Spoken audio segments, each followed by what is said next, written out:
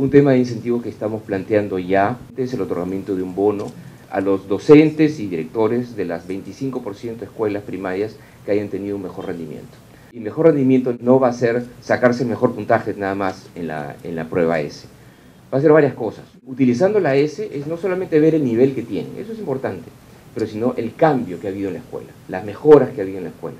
¿no? Porque una escuela puede tradicionalmente eh, tener buenos rendimientos ya, ¿no? pero entonces no solamente nos importan los buenos rendimientos, sino las mejoras en el rendimiento. ¿no? Y por lo tanto las mejoras en el rendimiento pueden ser mayores en escuelas que están partiendo de un nivel más bajo.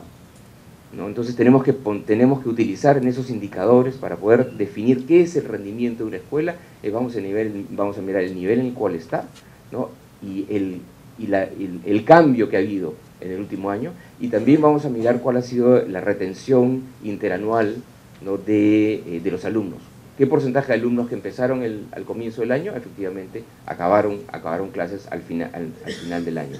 Este ordenamiento de esas escuelas se va a hacer para, a nivel de cada región y al interior de cada región, separando lo rural de lo urbano y separando la escuela multigrado de la escuela, eh, de la escuela polidocente. Entonces, de esa manera, efectivamente, uno, uno dice, entonces, este, va a haber un ranking para las escuelas polidocentes urbanas de Arequipa.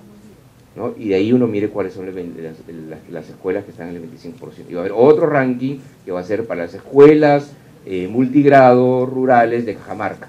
¿no? Y ahí sacas el 25%. Y ahí, juntando todos esos, todos esos rankings, es que uno saca el 25% de escuelas del país.